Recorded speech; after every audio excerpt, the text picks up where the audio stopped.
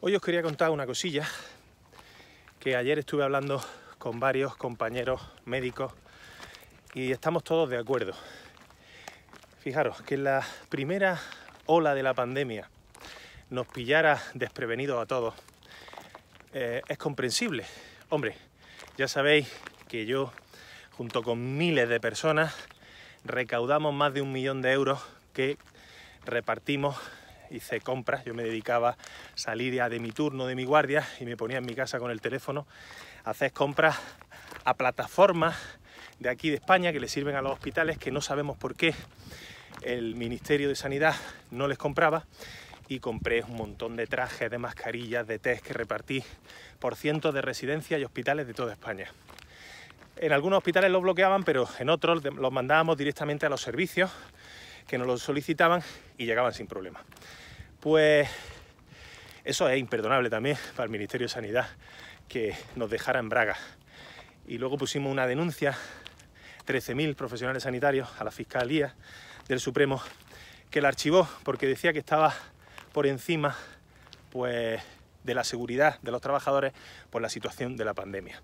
Está claro que la Fiscalía no defenderá jamás en este país los intereses de los ciudadanos porque eh, eh, se, desvive por el poder político, que es los que los ponen ahí. Bueno, lo que os quería decir es que desde este verano todos los profesionales con dos dedos de luces, los que no somos unos lameculos y unos pelotas de los que están ahí arriba, de los gestores, de los gerentes, de los que están puestos a dedo, digamos, por la administración. Pues llevamos diciendo que había que preparar los hospitales, lo mismo que la atención primaria, ¿no? La conozco menos porque eh, va por otro lado, pero bueno, dentro de los hospitales en mi hospital se decía que había que prepararse para octubre y noviembre de la segunda ola, porque la historia lo dice que la segunda ola en una pandemia siempre es mucho peor. Ahora estamos mucho peor que al principio.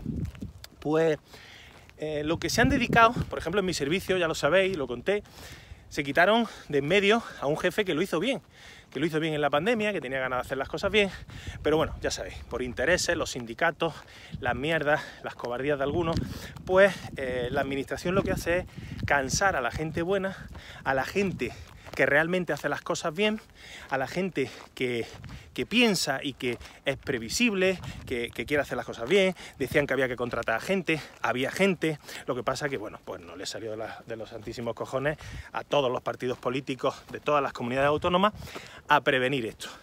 Entonces, ¿qué pasa? Pues que lo que no se puede hacer es confinar nuevamente a la gente en sus casas, porque, claro, eh, lo que no pensáis es el daño tan tremendo que hacemos a los niños, que hacemos a los mayores, que hacemos a muchas familias y a la ruina económica que llevamos a muchas familias. Entonces, claro, los médicos decíamos que somos los que teníamos que dar la voz de alarma, pero los médicos tienen miedo a levantarse, a levantar la voz, porque si no lo señalan y le abren expedientes. Y ahora veréis, aquí hay un jefe de un servicio en un hospital en Virgen de las Nieves que ha salido en un periódico diciendo que están saturados y que tienen que confinar a la gente en sus casas.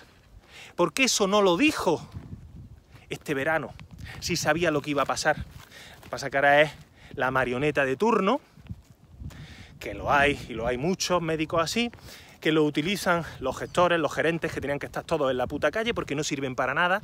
Un gerente en un hospital no hace nada, absolutamente nada, para eso tenemos una junta facultativa, una dirección médica, una dirección de enfermería, o sea, un gerente está puesto por el partido para dar por culo y poner trabas a todo. Y no hacen nada. Y ahora salen algunos pillatigres, los pelotas, los lameculos, los que necesitan posicionarse por esos egos que tiene mi colectivo de cobardes, y dicen que la gente se tiene que confinar en su casa.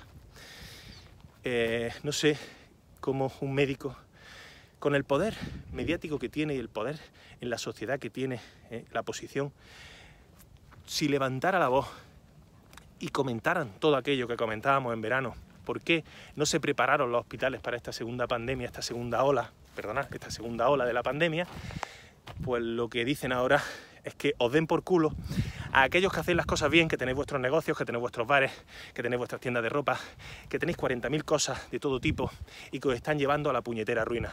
Y encima, algunos cobardes, pelotas y lameculos de este colectivo de personas que se llaman médicos, que se deben al paciente, al código ontológico, que tienen que levantar la voz, siguen callados y dicen que están saturados. Sabían que iban a estar saturados. Ahora hay que apagar el fuego, hay que trabajar y hay que comerse la mierda que hemos permitido que se produzca de nuevo.